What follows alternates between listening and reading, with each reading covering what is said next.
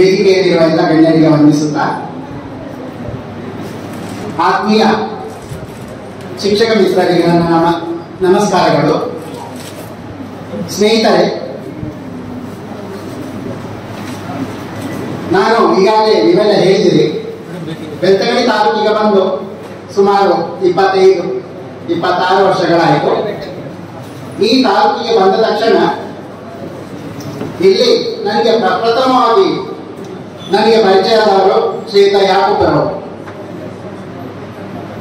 ಹೆಚ್ಚು ಕಡಿಮೆ ನನ್ನನ್ನು ಹೆಚ್ಚು, ಅಂದರೆ ಪ್ರಾರಂಭದಲ್ಲಿ ನನ್ನೊಡನೆ ನನ್ನ ಪರಿಚಯ ಆಗಿ ತಾಲೂಕಿಗೆ ಹೆಚ್ಚು ಕಡಿಮೆ ಪರಿಚಯ ಮಾಡಿಸಿದ ಅಂತ ಹೇಳ್ಬೋದು.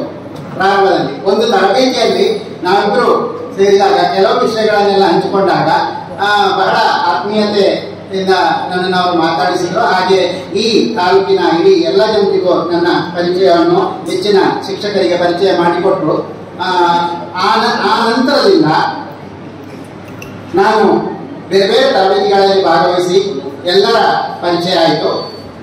ಮುಖ್ಯವಾಗಿ ಈ ಸಂದರ್ಭದಲ್ಲಿ ನಾನು ಇಲ್ಲಿ ನೆನೆಸಿಕೊಳ್ಳಬೇಕಾಗಿರುವುದು ಶ್ರೀಯುತ ರಾಧಾಕೃಷ್ಣ ಸರನ್ನು ಅವರು ನನ್ನ ಬಿ ಆಗಿದ್ದರು. ಮೇಟ್ ಆಗಿದ್ರು ಇಲ್ಲಿ ನನ್ನ ಬಿ ಎಡ್ ಮೇಟ್ಗಳು ನಾಲ್ಕು ಜನ ಇದ್ದಾರೆ. ಈಗ ನೀವು ಕೊಟ್ಟಕ್ಕೆ ನಿಂತಂತ ಮೋಹನ್ ಸಾರ್ ಇರ್ಬೋದು ವಾಸುದೇವ್ ಅಂತ ಅವರು ಈಗ ಮುಡಿಗೇರಿಯಿಂದ ಬಂದಿದ್ದಾರೆ.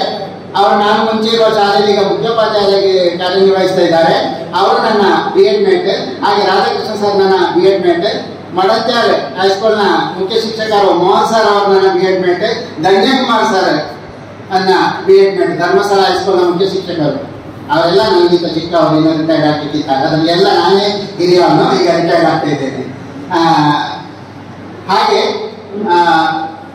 ಇಲ್ಲಿ ರಾಜೀವ್ ಸರ್ ನಾನೀಗ ಯಾಕೆ ನೆನೆಸ್ಕೊಳ್ತೇನೆ ಅಂದ್ರೆ ಇದ್ದಾರೆ ಈಗ ಅವರನ್ನು, ಅವ್ರ ಬಗ್ಗೆ ಒಂದೆರಡು ವಿಷಯ ನನಗೆ ಹೇಳಬೇಕಾಗಿದೆ. ಇಲ್ಲಿ ಒಂದು ಕಾರ್ಯಾಗಾರದಲ್ಲಿ ಸಿಕ್ಕಿದಾಗ ಅವರು ಹೀಗೀಗೆ ಗಣಿತ ಒಂದು ಜಿಲ್ಲೆಯಲ್ಲಿ ಒಂದು ಕಾರ್ಯಾಗಾರ ನಡೆಯುವಾಗ ಒಂದು ಅವರು ಪ್ರಸ್ತಾಪ ಇಟ್ಟರು ನಮ್ಮ ಅವರಾಗ ಸಬ್ಜೆಕ್ಟ್ ಇನ್ಸ್ಪೆಕ್ಟರ್ ಆಗಿದ್ರು ನಮ್ಮ ಜಿಲ್ಲೆಯಲ್ಲಿ ಗಣಿತದ ಒಂದು ವೇದಿಕೆ ಮಾಡಬೇಕು ವಿಜ್ಞಾನದ ಒಂದು ವೇದಿಕೆ ಮಾಡಬೇಕು. ಅದನ್ನು ಅವ್ರು ಆಕೆ ಹೇಳಿದರು. ಅದು ಹದಿಮೂರು, ಒಂಬತ್ತು, ಎರಡು ಸಾವಿರದ ನಾಲ್ಕು. ಹದಿಮೂರರಲ್ಲಿ ಆ ಒಂದು ಮೀಟಿಂಗ್ ಆದಾಗ ಈ ಪ್ರಸ್ತಾಪ ಮಾಡಿದರು. ಪ್ರಸ್ತಾಪ ಮಾಡಿದಾಗ ಕೆಲವರನ್ನೆಲ್ಲ, ಕೆಲವು ತಾಲೂಕುಗಳಲ್ಲೆಲ್ಲ ಈ ಗಣಿತ ವೇದಿಕೆ ಮಾಡಿದ್ರು. ಆದರೆ ಅದರಲ್ಲಿ ತುಂಬಾ ಯಶಸ್ವಿಯಾಗಿ ಕಾರ್ಯನಿರ್ವಹಿಸುವಂತ ವೇದಿಕೆ ನಮ್ಮ ಬೆಳ್ತಗಡಿ ತಾಲೂಕಿನ ವೇದಿಕೆ. ಅದನ್ನು ತುಂಬಾ ಸಲ ಅವರು ಹೇಳಿಕೊಂಡಿದ್ರು. ಈ ವೇದಿಕೆಯಲ್ಲಿ ಇದರ ವಿಶೇಷತೆ ಏನಂದ್ರೆ ಈಗಾಗಲೇ ವಿನಯ್ ಕುಮಾರ್ ಮೇಡಮ್ ಅಂತ ಭಾಷಣ ಮಾಡಿದವರೆಲ್ಲ ಹೇಳಿದ್ರು. ಇಡೀ ಜಿಲ್ಲೆಯ ಶಿಕ್ಷಕರು ಈ ವೇದಿಕೆಗೆ ಸೇರಿಕೊಳ್ಳಿಕ್ಕೆ ಆತರಿಸಿದ್ರು ಆದ್ರೆ ಆಗ ಅದರಲ್ಲಿ ಸೀಟ್ ಕಡಿಮೆ ಇದ್ದಿದ್ದು ಇನ್ನೂರ ಐವತ್ತು ಜನರಿಗೆ ಮಾತ್ರ ಅವಕಾಶ ಇತ್ತು. ಅದು ಆಗಿತ್ತು. ಆ, ಯಾಕೆಂದ್ರೆ ಈ ವೇದಿಕೆಯ ಕಾರ್ಯನಿರ್ವಹಣೆ ಆಗಿತ್ತು. ತುಂಬಾ ಶಿಕ್ಷಕರಿಗೆ ಉಪಯುಕ್ತವಾದ ಮಾಹಿತಿ ಇರ್ಬೋದು ತರಬೇತಿಗಳಿರ್ಬೋದು ಕ್ವಶನ್ ಪೇಪರ್ ಇರ್ಬೋದು, ಅದನ್ನೆಲ್ಲ ನಾವು ಡಿಸ್ಕಸ್ ಮಾಡ್ತಿದ್ದೇವೆ. ಮತ್ತೆ ಕಠಿಣವಾದ ಪ್ರಶ್ನೆಗಳನ್ನು ಇರ್ಬೋದು, ಆ ವೇದಿಕೆಯಲ್ಲಿ ಡಿಸ್ಕಸ್ ಮಾಡ್ತಿದ್ದೆವು. ಹೊಸದಾಗಿ ಸೇರಿದಂತ ಶಿಕ್ಷಕರಿಗೆ ಮತ್ತೆ ಸೇವೆಯಲ್ಲಿರುವ ಶಿಕ್ಷಕರಿಗೆ ತುಂಬಾ ಅನುಕೂಲ ಆಗ್ತಿತ್ತು ಅದು, ಆ ವೇದಿಕೆ. ಇವತ್ತಿನ ತನಕ ಹಾಗೆ ಅದು ಕಾರ್ಯನಿರ್ವಹಿಸಿಕೊಂಡು ಬಂದಿದೆ. ಅಂದರೆ ಈ ವೇದಿಕೆಗೆ ಸೇರಿದವರು ಹಲವಾರು ಶಿಕ್ಷಕರಿಗೆ ಸ್ವಯಂ ಅವರೇ ಇದರಲ್ಲಿ ಯಶಸ್ವಿಯಾಗಿ ಬೋಧನೆಯನ್ನು ನಿರ್ವಹಿಸಿ ಅವರೇ ಟೀಚರ್ಸ್ಗೆಲ್ಲ ತರಬೇತಿ ನೀಡುವಂತಹ ಶಿಕ್ಷಕರಾಗಿ ರೂಪುಗೊಂಡಿದ್ದಾರೆ. ಅಂದ್ರೆ ಎಲ್ಲ ಪ್ರಾರಂಭದಲ್ಲಿ ಆ ವೇದಿಕೆಯಲ್ಲಿ ಹೆಚ್ಚಾಗಿ ಗಣಿತದ ಪ್ರಶ್ನೆಗಳಿಗೆ ನಾನೇ ಉತ್ತರ ಕೊಡ್ತಿದ್ದೆ ಇನ್ನು ಕೆಲವರು ಉತ್ತರ ಕೊಡ್ತಿದ್ರು. ಕ್ರಮೇಣ ನಾನೇನು ಮಾಡಿದ್ರೆ ಎಲ್ರಿಗೂ ಅವಕಾಶ ಸಿಗ್ಬೇಕು ಎಲ್ರು ಯೋಚಿಸ್ಬೇಕು ಎಲ್ರು ಆ, ಗಣಿತದ ಪ್ರಶ್ನೆಗಳ ಬಗ್ಗೆ ಯೋಚಿಸಬೇಕಂತ ಹೇಳಿ ನಾನು ಆದಷ್ಟು ಅಂದರೆ ಸ್ವಲ್ಪ ನಿಧಾನ ಮಾಡ್ತಿದ್ದೆ. ಅದಕ್ಕೆ ಉತ್ತರ ಕೊಡುವಾಗ ಅದನ್ನು ಕೆಲವರೆಲ್ಲ ಯೋಚಿಸುವಂತೆ ಮಾಡಿ ಆ ಉತ್ತರಗಳನ್ನು ಮತ್ತೆ ಕೊನೆಗೆ ನೀಡ್ತಿದ್ರು. ಆಗ ತುಂಬಾ ಖುಷಿ ಆಗ್ತದೆ. ಎಲ್ಲರೂ ಆ ದಾರಿಗೆ ಬರ್ತಾ ಇದ್ದಾರೆ ಅಂತ ಹೇಳಿ. ಈಗ ಹಲವಾರು ಜನ ಈ ವೇದಿಕೆಯಲ್ಲಿರುವವರು ಸಂಪನ್ಮೂಲ ವ್ಯಕ್ತಿಯಾಗಿ ಉತ್ತಮ ನಿರ್ವಹಣೆಯನ್ನು ತೋರಿಸ್ತಾ ಇದ್ದಾರೆ. ಹಾಗೆ ಅದಕ್ಕೆ ಆ ವೇದಿಕೆ ಉಂಟಾಗಲಿಕ್ಕೆ ಕಾರಣನೇ ರಾಧಾಕೃಷ್ಣ ಸರ್ ಅವರು. ಅವರಲ್ಲಿ ಇರುವಂತ ಕೆಲವು ಯೋಜನೆಗಳು ತುಂಬಾನೇ ಅಂದ್ರೆ ಬಾರಿ ಇವತ್ತು ಕೂಡ ಒಂದು ವಿಷಯ ಪ್ರಸ್ತಾಪಿಸಿದ್ರು. ಅದು ಕೂಡ ಸರಿಯೇ. ನಾವು ಏನು ಸಾಧನೆ ಮಾಡಿದ್ದೇವೆ, ಅದರ ಒಂದು ಸ್ಥೂಲವಾದ ಒಂದು ಮಾಹಿತಿ ನಮ್ಮಲ್ಲಿದ್ರೆ ಮುಂಬರುವಂತ ಶಿಕ್ಷಕರಿಗೆ ಅನುಕೂಲ ಆಗ್ತದೆ. ಯಾವ ವಿಷಯದಲ್ಲಿ ಯಾವ ಒಂದು ಸಾಧನೆ ಮಾಡಿದ್ದಾರೆ, ಅದ್ರಲ್ಲಿ ಇನ್ನೂ ಹೆಚ್ಚು ಏನು ಮಾಡ್ಬೋದು ನಾವು ಎನ್ನುವಂತ ಒಂದು ಮಾಹಿತಿ ಸಿಗ್ತದೆ. ಅದು ಕೂಡ ಒಂದು ಉತ್ತಮವಾದ ಯೋಜನೆ ಇಂಥ ಕೆಲವು ವಿಶೇಷವಾದಂತಹ ಕೆಲವು ಕ್ರಿಯಾತ್ಮಕ ಯೋಜನೆಗಳ ತಲೆಯಲ್ಲಿ ಬರ್ತದೆ.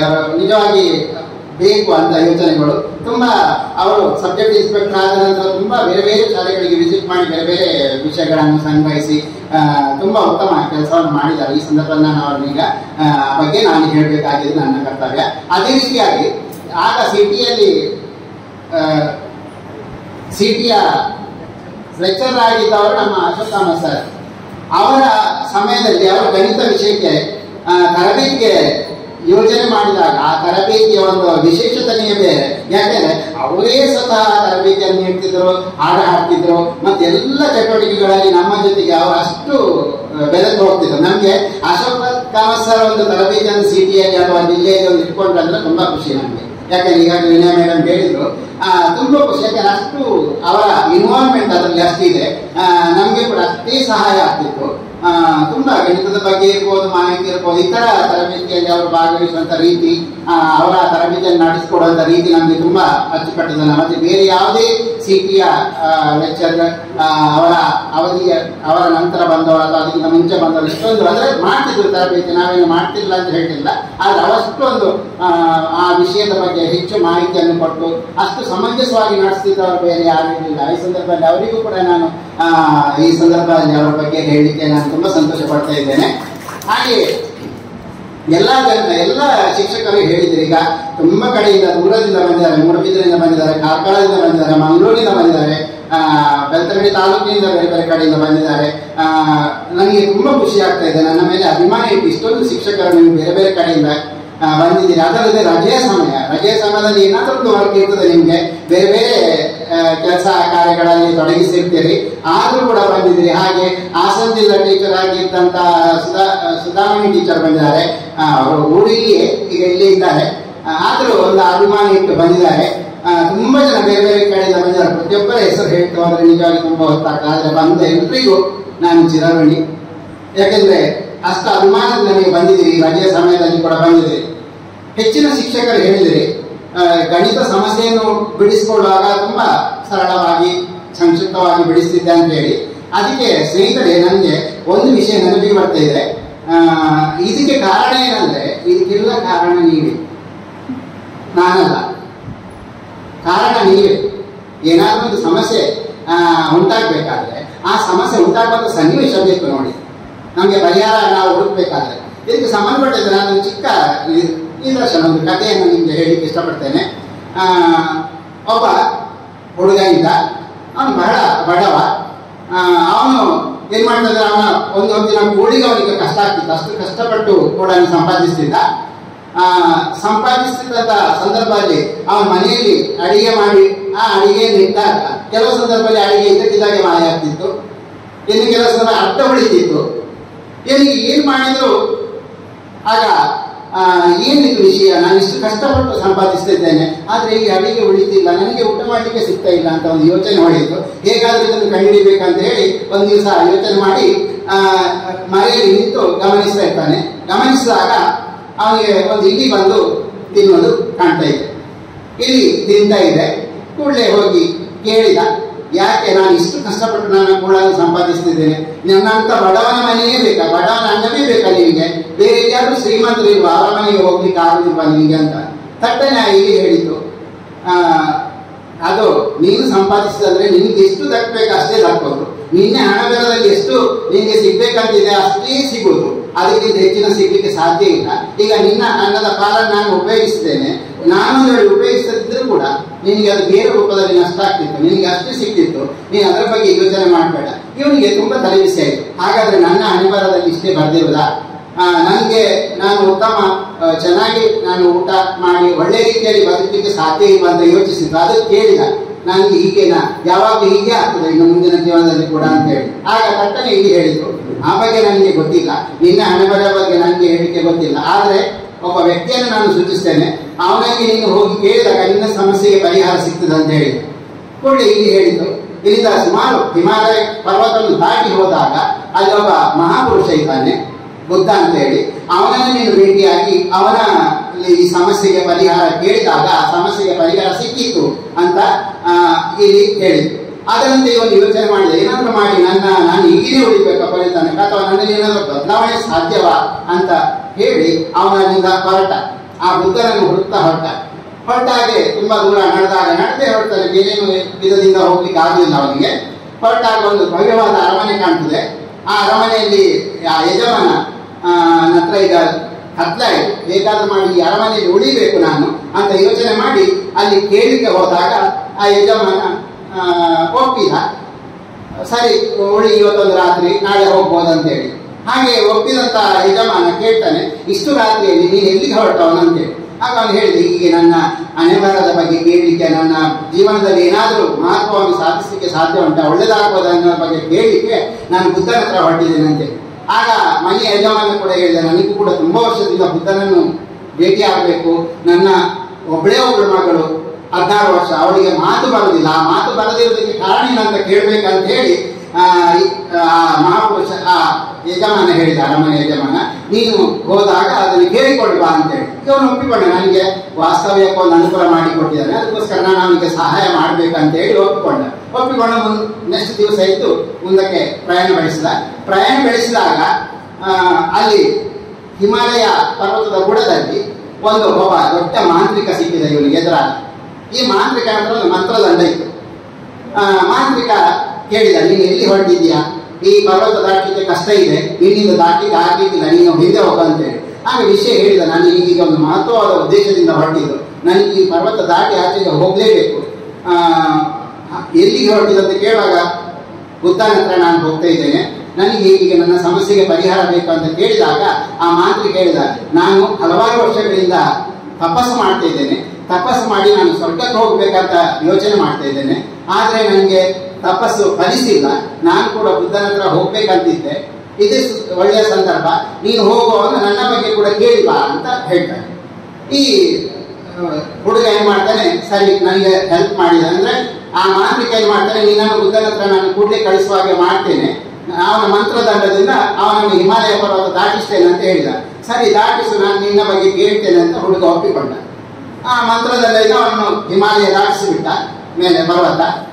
ಆ ದಾಟಿ ಹೋದ ನಂತರ ಅಲ್ಲಿ ಒಂದು ದೊಡ್ಡ ಸರೋವರ ಸಿಕ್ಕಿದೆ. ಆ ಸರೋವರ ದಾಟಿ ಹೋದಾಗ ನಂತರ ಬುದ್ಧ ಸಿಗುವುದು. ಆ ಸರೋವರನ ಹೇಗೆ ದಾಟುವುದು ಅಂತೇಳಿ ಇವನಿಗೆ ಯೋಚನೆ ಆಯಿತು. ನನಗೆ ಆ ಹುಡುಗನಿಗೆ. ದೊಡ್ಡ ಸರೋವರ ಅದನ್ನು ಈಜಿ ದಾಟಲಿಕ್ಕೆ ಸಾಧ್ಯ ಇಲ್ಲ. ಅಷ್ಟೊತ್ತಿಗೆ ಒಂದು ವಿಶಾಲವಾದ ದೊಡ್ಡದಾದಂಥ ಒಂದು ಆಮೆ ಬಂತು. ಆಮೆ ಕೇಳಿತು, ನೀನು ಎಲ್ಲಿಗೆ ಹೊರಟಿದ್ದಿ? ಸರೋವರದಲ್ಲಿ ನೀನು ಮುಳುಗಿ ಹೋಗ್ತೀವಿ ಹೋಗ್ಬೇಡ ಅಂತೇಳಿ. ಆದರೆ ನನಗೆ ಆಗ ದಾಟಿ ಬುದ್ಧನನ್ನು ಮೀಟ್ ಹಾಕ್ಬೇಕು. ಬುದ್ಧನ ಸಮಸ್ಯೆಗೆ ಪರಿಹಾರ ಕೇಳಬೇಕು ಅಂತ ಹೇಳಿದ. ಆಮೇಲೆ ಆಮೆ ಹೇಳಿತು ಹಾಗಾಗಿ ನಿನ್ನನ್ನು ನಾನು ಬುದ್ಧನ ಹತ್ರ ಸೇರಿಸ್ತೇನೆ ಈ ಸರೋವರದ ಆದ್ರೆ ನಂದೊಂದು ಸಮಸ್ಯೆ ಇದೆ. ನಾನು ತುಂಬಾ ವರ್ಷಗಳಿಂದ ಡ್ರ್ಯಾಗನ್ ಆಗಿ ನಾನು ಹಾಡ್ಬೇಕಂತ ನನಗೆ ಇಷ್ಟ ಇತ್ತು. ಆದರೆ ಮುನ್ನೂರು ವರ್ಷಗಳ ಕಾಲ ಪ್ರಯತ್ನ ಮಾಡ್ತಾ ಇದ್ದೇನೆ. ನಾನು ಡ್ರ್ಯಾಗನ್ ಆಗಿಲ್ಲ ನಾನು ಈ ಸರೋವರದಲ್ಲೇ ಬಿದ್ದಿದ್ದೇನೆ. ಏನು ಮಾಡುದು? ಈ ಸಮಸ್ಯೆಯನ್ನು ಬುದ್ಧನ ಹತ್ರ ಹೇಳಬೇಕಂತ ನನಗೆ ಯೋಚನೆ ಇತ್ತು. ನೀನು ಸರಿಯಾದ ವ್ಯಕ್ತಿ ಸಿಕ್ಕಿದ್ದೀನಿ ನಾನು ಆಚೆ ಬಳಿಗೆ ದಾಟಿಸ್ತೇನೆ. ನನ್ನ ಸಮಸ್ಯೆಗೆ ಕೂಡ ಉತ್ತರವನ್ನು ಕೇಳಿಕೊಂಡು ಅಂತ ಹೇಳ್ತಾರೆ ಎಲ್ಲರೂ ಸಹಾಯ ಮಾಡಿದ್ದಾರೆ. ನಾನು ಅವರಿಗೆ ಸಹಾಯ ಮಾಡಲೇಬೇಕು ಎನ್ನುವಂತ ಯೋಚನೆಯಿಂದ ಹುಡುಗ ಹೊರಟ ಹೊರಟಾಗ ಬುದ್ಧ ಸಿಕ್ಕಿದ. ಸಿಕ್ಕಿದಾಗ ಅಲ್ಲಿ ವಿಷಯ ತುಂಬ ಜನ ಸೇರಿದ್ದಾರೆ. ಸಮಸ್ಯೆಗಳನ್ನು ಒಪ್ಕೊಂಡು ಬಂದವರೇ ಇದ್ದಾರೆ. ಆದರೆ ಅಲ್ಲಿ ಒಂದು ನಿಯಮ ಇದೆ. ಕೇವಲ ಮೂರೇ ಪ್ರಶ್ನೆ ಒಬ್ಬನಿಗೆ ಕೇಳುವಂಥದ್ದು ಒಬ್ಬ ಮೂರೇ ಪ್ರಶ್ನೆ ಕೇಳಬೇಕು. ಆದರೆ ಈ ಹುಡುಗನ ಹತ್ರ ನಾಲ್ಕು ಪ್ರಶ್ನೆ ಇತ್ತು. ಒಂದು ಅವನ ಬಗ್ಗೆ, ಒಂದ ಅರಮನೆಯ ಒಂದು ಯಜಮಾನನ ಬಗ್ಗೆ, ಇನ್ನೊಂದು ಮಾಂತ್ರಿಕನ ಬಗ್ಗೆ ಅವನಿಗೆ ಸಹಾಯ ಮಾಡಿದ್ರು, ಮತ್ತೊಂದು ಆಮೆಯ ಬಗ್ಗೆ. ಈಗ ಅವನು ಯೋಚಿಸ್ತಾನೆ, ನಾಲ್ಕು ಕೇಳಿದ್ರೆ ಸಾಧ್ಯ ಇಲ್ಲ. ಯಾವುದನ್ನು ಬಿಡೋದು? ಯಾವ ಪ್ರಶ್ನೆ ತಗೊಳ್ಳೋದು ಕೊನೆಗೆ ಆ ಹುಡುಗ ಏನು ಯೋಚನೆ ಮಾಡಿದಂದ್ರೆ ನನಗೆ ಆ ಮೂರು ಜನ ಸಹಾಯ ಮಾಡಿದ್ರು. ಫಸ್ಟಿಗೆ ಅವರ ಪ್ರಶ್ನೆಗಳಿಗೆ ಉತ್ತರಿಸೋದು, ಅಥವಾ ಉತ್ತರ ಅವರ ಪ್ರಶ್ನೆಗಳಿಗೆ ನಾನು ಕೇಳುವುದು ಸೂಕ್ತ? ನಂದು ನಾನು ನನಗೆ ಕಷ್ಟ ಮಾತ್ರ, ಆದರೆ ದುಡಿಯುವುದರಿಂದ ಆ ಕಷ್ಟ ನಾನು ನೀಗಬಹುದು ನಾನು ದುಡಿದು ತಿನ್ನಬಹುದು. ನಂದದು ಹೇಳಿಕೊಳ್ಳುವಂಥ ಪ್ರಶ್ನೆ ಸಮಸ್ಯೆನೇ ಅಲ್ಲ. ಈ ಮೂರು ಜನರಿಗಿರುವಂಥ ಸಮಸ್ಯೆಗಿಂತ ನನ್ನ ಸಮಸ್ಯೆ ಕಡಿಮೆ. ನಾನು ಅದನ್ನು ಕೇಳುವುದು ಬೇಡ. ಅವರ ಬಗ್ಗೆನೇ ಕೇಳುವ ಅಂತೇಳಿ ಫಸ್ಟಿಗೆ ಈ ಆಮೆಯ ಬಗ್ಗೆ ಕೇಳಿದ, ಹೇಳಿದ. ಅದಕ್ಕೆ ಡ್ರ್ಯಾಗನ್ ಆಗಿ ಹಾಡಬೇಕಿತ್ತು. ಮುನ್ನೂರು ವರ್ಷಗಳಿಂದ ದೇವರನ್ನು ಯೋಚಿಸ್ತಾ ನೆನೀತಾ ಇತ್ತು. ಆದರೆ ಆಗಲಿಲ್ಲ ಅಂತ ಕೇಳಿ. ಆಗ ಬುದ್ಧ ಕೂಡಲೇ ಹೇಳಿದ ಅದು ಆಮೆ ತನ್ನ ಚಿಪ್ಪನ್ನು ಬಿಟ್ಕೊಡ್ಲಿಕ್ಕೆ ರೆಡಿ ಇಲ್ಲ. ಅದು ಚಿಪ್ಪನ್ನು ಬಿಟ್ಟ ಕೂಡಲೇ ಅದು ಡ್ರ್ಯಾಗನ್ ಆಗಿ ಹಾಕ್ತದೆ ಅಂತೇಳಿ ಅದಕ್ಕೆ ಸಮಸ್ಯೆಗೆ ಒಂದು ಪರಿಹಾರ ಸಿಕ್ಕಿತ್ತು ನೆಕ್ಸ್ಟ್ ಮಾಂತ್ರಿಕನ ಬಗ್ಗೆ ಕೇಳಿದ. ಮಾಂತ್ರಿಕನ ಬಗ್ಗೆ ಹೇಳಿದಾಗ ಬುದ್ಧ ಏನು ಹೇಳಿದ ಅಂದ್ರೆ, ಅವನು ಮಾಂತ್ರಿಕನ ಇರುವಂತ ಮಂತ್ರದಂಡ ಅವನು ಬಿಟ್ಟರೆ ಅವನು ಸ್ವರ್ಗಕ್ಕೆ ಹೋಗ್ತಾನೆ. ಹಾಗೆ ಅದಕ್ಕೆ ಸಮಸ್ಯೆಗೆ ಪರಿಹಾರ ಸಿಕ್ಕಿತು. ನೆಕ್ಸ್ಟ್ ಅರಮನೆಯ ಯಜಮಾನ, ಅವರ ಮಕ್ಕಳ ಬಗ್ಗೆ ಆ ಅರಮನೆಯ ಯಜಮಾನ ನ ಮಗಳು, ಮದುವೆ ಆದ ತಕ್ಷಣ ಅವಳ, ಆ, ಬಾಯಿ ಬರದಿರುವಂತ ಸಮಸ್ಯೆ ದೂರ ಆಗ್ತದೆ ಅಂತ ಹೇಳಿದ. ಈ ಮೂರು ಜನರ ಸಮಸ್ಯೆಗೆ ಉತ್ತರವನ್ನು ಕೊಡ್ತಾ ಬಂದ. ಫಸ್ಟಿಗೆ ಆಮೆ ಹತ್ರ ಬಂದಾಗ, ಆಮೆ ಕೂಡಲೇ ಸಂತೋಷದಿಂದ ಚಿಪ್ಪನ್ನು ಬಿಟ್ಟಿತು ಚಿಪ್ಪ ಬಿಟ್ಟಾಗ ಚಿಪ್ಪಿನ ಅಡಿಯಲ್ಲಿ ಬಹಳ ಬೆಲೆ ಬಾಳುವಂತ ಹರಳುಗಳಿತ್ತು. ಆ ಹರಳುಗಳನ್ನು ಈ ಹುಡುಗನಿಗೆ ಕೊಟ್ಟಿತ್ತು ಆಮೆ. ಅದು ಡ್ರ್ಯಾಗನ್ ಆಗಿ ಹಾಗೆ ಹೋಯಿತು ಹಾಗೆ ಎರಡನೇದಾಗಿ ಆ ಮಾಂತ್ರಿಕ ಹತ್ರ ಬಂದ ಮಾಂತ್ರಿಕ ದಂಡವನ್ನು ಇವನ ಕೈಯಲ್ಲಿ ಕೊಟ್ಟ. ಯಾರ? ಹುಡುಗನ ಕೈಯಲ್ಲಿ. ಅವನು ಸ್ವರ್ಗಕ್ಕೆ ಹೋದ. ಮೂರನೇದಾಗಿ ಎದುರುಗಡೆ ಸಿಕ್ಕಿದ ಆ ಅರಮನೆಯ ಯಜಮಾನನ ಮಗಳೇ ಇವಳಿಗೆ ಬಂದ ಹಾರ ಹಾಕಿದ ಮಾತು ಆಡಿದ ನಾನು ನಿನ್ನನ್ನು ಮೆಚ್ಚಿದ್ದೇನೆ. ನೀನು ಹೋಗುವಾಗ ನನ್ನ ತಂದೆ ಜೊತೆಗೆ ಮಾತಾಡಿದ್ದು ಕೇಳಿದೆ. ಆವಾಗಿಂದ ನೀನು ಬರು, ನಿನ್ನ ಬರುವಿಕೆಯಲ್ಲಿ ಕಾಯ್ತಿದ್ದೇನೆ ನಾನೇ ನಿನಗೆ ನಿನ್ನನ್ನು ನಾನೇ ವರಿಸಬೇಕಂತೇಳಿ ಅಲ್ಲಿಗೆ ಮಾತು ಕೂಡ ಆಡಿದ್ರು. ಸ್ನೇಹಿತರೆ, ಈ ಕಥೆಯ ಒಂದು, ನಾ ಈ ಕಥೆ ಹೇಳಿರುವಂಥದ್ದು ಅಂದರೆ ಈ ಕಥೆ ಯಾಕೆ ಹೇಳಿದೆ? ಇದರ ಬಗ್ಗೆ ನೀವು ಗಮನಿಸಿರ್ಬೋದು. ಈಗ ಅವರೆಲ್ಲ ಸಮಸ್ಯೆಗಳನ್ನು ಪರಿಹಾರ ಹುಟ್ಟಿದರೆ ಇವರ ಸಮಸ್ಯೆ ಪರಿಹಾರವಾಗಿ ಅದರಿಂದ ತುಂಬ ಹೆಚ್ಚು ಅನುಭವವನ್ನು ಪಡೆದ. ಹೀಗೆ, ಈ ವೇದಿಕೆಯಲ್ಲಿ ಕೂಡ ಆಗಿದ್ದಷ್ಟೇ. ಎಲ್ಲ ಸಮಸ್ಯೆಗಳನ್ನು ಉತ್ತರಿಸ್ತಾ ಉತ್ತರಿಸ್ತಾ ನಾನೇ ಗಣಿತದಲ್ಲಿ ಹೆಚ್ಚು ಪ್ರೌಢಿಮೆಯನ್ನು ಪಡೆದೆ. ಎಲ್ಲರಿಂದ ನನಗೆ ಉಪಕಾರವಾಗಿದೆ. ಇಲ್ಲದ್ರೆ ನಾನು ಆ ಸಮಸ್ಯೆಗಳ ಬಗ್ಗೆ ತಿಳಿಯಲಿಕ್ಕೆ ಹೋಗ್ತಿರ್ಲಿಲ್ಲ. ನನಗೆ ನಾನು ಮಾಮೂಲಿ ಎದುರಾಗಿ ಶಿಕ್ಷಕನಾಗಿದ್ದೆ. ನಾನು ಶಿಕ್ಷಕರೊಂದಿಗೆ ಸೇರಿದಾಗ ನನಗೆ ಕೂಡ ಹೆಚ್ಚು ಅಷ್ಟು ಪ್ರೌಢಿಮೆ ಇರಲಿಲ್ಲ ಪ್ರಾರಂಭದಲ್ಲಿ. ಆಮೇಲೆ ಹೀಗೆ ತರಬೇತಿಗಳಿರ್ಬೋದು ಬೇರೆಯವರ ಜೊತೆಗೆ ಸೇರಿರ್ಬೋದು. ಆ, ಇಂಥ ತರಬೇತಿಗಳಲ್ಲಿ ಅಂದ್ರೆ ಬೇರೆ ಬೇರೆ ತರಬೇತಿಗಳಲ್ಲಿ ಭಾಗವಹಿಸಿದ್ದೀನಿ. ನಾನು ಅಷ್ಟೊಂದು ಪ್ರೌಢ ಅಂದ್ರೆ ಗಣಿತದಲ್ಲಿ ಅಷ್ಟೊಂದು ಹಿಡಿತವನ್ನು ಪಡ್ಕೊಂಡಿದ್ದೇನೆ. ಅದಕ್ಕೆಲ್ಲರ ಕಾರಣ ನೀವು ನಾವು ಬೇರೆಯವರ ಸಮಸ್ಯೆಯನ್ನು ತಿಳಿದು ನಮ್ಮ ಸಮಸ್ಯೆಯ ಬಗ್ಗೆ ಯೋಚಿಸಿದಾಗ ಅದು ಏನೇನು ಅಲ್ಲ. ನಾವು ಸುಮ್ಮನೆ ಕೊಡ್ತಾ ಇದ್ದೇವೆ ನನಗೆ ಆ ಸಮಸ್ಯೆ ಇದೆ, ಈ ಸಮಸ್ಯೆ ಇದೆ, ಅದು ಇದೆ ಇದಿದೆ ಅಂತ ಹೇಳಿ. ಆದ್ರೆ ನಾವು ಇನ್ನೊಬ್ಬರ ಬಗ್ಗೆ ಸ್ವಲ್ಪ ಯೋಚಿಸಿದಾಗ ಅವರಿಗಿರುವಂತಹ ಸಮಸ್ಯೆಗಳ ಮಧ್ಯೆ ನಮ್ಮ ಸಮಸ್ಯೆ ಏನೇನು ಅಲ್ಲ ಅಂತ ನಾನು ಈ ಸಂದರ್ಭದಲ್ಲಿ ಹೇಳಲಿಕ್ಕೆ ಇಷ್ಟಪಡ್ತೇನೆ. ಹಾಗೂ ಎಲ್ಲರೂ ಸೇರಿ ನನಗೆ ಇಷ್ಟೊಂದು ಉತ್ತಮ ಸನ್ಮಾನವನ್ನು ಮಾಡಿದಿರಿ ನಾನು ಎಲ್ರಿಗೂ ಚಿರಋಣಿ ಆಗಿರ್ತೇನೆ ಈ ಸಂದರ್ಭದಲ್ಲಿ ಇಲ್ಲಿ ಆಗಮಿಸಿದಂತ ಎಲ್ರಿಗೂ ಎಲ್ಲರ ಬಗ್ಗೆ ನಿಜವಾಗಿ ನಾನು ಎಷ್ಟು ಹೇಳಿದ್ರು ಅದು ಕಡಿಮೆ ಆಗಿತ್ತು ಆ, ಒಬ್ಬೊಬ್ಬರು ಒಂದೊಂದು ರೀತಿಯ ಒಂದು ವಿಷಯವಾಗಿ ನನ್ನ ಬಗ್ಗೆ ಮಾತಾಡಿದಿರಿ. ನನಗೆ ತುಂಬಾನೇ ನಾನು ಅಂದ್ರೆ ಎಲ್ರಿಗೂ ನಾನು ಆಭಾರಿ ಆಗಿದ್ದೇನೆ. ಎಲ್ಲರಿಗೂ ಮತ್ತೊಮ್ಮೆ ಇದರ ಈ ಸಂದರ್ಭಕ್ಕೋಸ್ಕರ ಮತ್ತೊಮ್ಮೆ ಎಲ್ರಿಗೂ ವಂದಿಸುತ್ತಾ ಎಲ್ರಿಗೂ ಒಳ್ಳೆಯದಾಗಲಿ ಅಂತ ಹಾರಿಸ್ತಾ ನನ್ನ ಎರಡು ಮಾತುಗಳನ್ನು ಮುಗಿಸ್ತಿದ್ದೇನೆ. ಹಾಗೆ ಮುಂದೆ ಕೂಡ ಈ ವಿಷಯ ವೇದಿಕೆ ಉತ್ತಮವಾಗಿ ನಡೆಯಲಿ. ಹಾಗೆ ನನ್ನಿಂದ ಸಹಾಯ ಆದಷ್ಟು ನಿಮ್ಮ ಶಾಲೆಗೆ ಇರ್ಬೋದು ನಿಮ್ಮ ಅಂದ್ರೆ ಯಾವುದೇ ಗಣಿತದಲ್ಲಿ ಬರುವಂಥ ಸಮಸ್ಯೆಗಳಿರ್ಬೋದು, ಅದನ್ನು ನನ್ನಿಂದ ಸಹ ಏನು ಸಾಧ್ಯ ಆಯಿತು ಅಷ್ಟೆಲ್ಲ ನಿಮಗೆ ಸಹಾಯವನ್ನು ಮಾಡಲಿಕ್ಕೆ ನಾನು ರೆಡಿ ಇದ್ದೇನೆ ಅಂತ ಹೇಳ್ತೆ ಈ ಸಂದರ್ಭದಲ್ಲಿ ಎಲ್ರಿಗೂ ಮತ್ತೊಮ್ಮೆ ಹೊಂದಿಸ್ತಾ ಹಾಗೆ ಇಲ್ಲಿ ಈ ಕಾರ್ಯಕ್ರಮ ಆಗಮಿಸುವಂತ ಎಲ್ಲ ಗಣ್ಯರಿಗೂ ಮತ್ತೊಮ್ಮೆ ಹೊಂದಿಸ್ತಾ ಅದೇ ರೀತಿಯಾಗಿ ಅಶೋಕ್ ಕಾಮ್ ಸರ್ ಇರ್ಬೋದು ಹೆಬ್ಬಾರ್ ಸರ್ ಇರ್ಬೋದು ಸರ್ ಐತಾಳ್ ಸರ್ ಅವ್ರಿಗೆ ಐತಾಳ್ ಅಂದ್ರೆ ನನಗೆ ಗಣೇಶ್ ಅಂತ ಹೆಸರು ಮಾಡ್ತಾ ಇದ್ದಾರೆ ಗಣೇಶ್ ಐತಾಳ್ ಸರ್ ಇರ್ಬೋದು, ಹಾಗೆ ದೊಡ್ಡ ಸರ್ ಇರ್ಬೋದು, ರಮೇಶ್ ಮಯ್ಯರ್ ಇರ್ಬೋದು, ಹಾಗೆ ಈ ಶಾಲೆಯ ಎಚ್ ಆಗಿರ್ಬೋದು, ರಿಯಾ ಸರ್ ಆಗಿರ್ಬೋದು. ಈ ಸಂದರ್ಭದಲ್ಲಿ ರಿಯಾ ಸರ್ ಬಗ್ಗೆ ತುಂಬಾ ಜನ ಹೇಳಿದರು.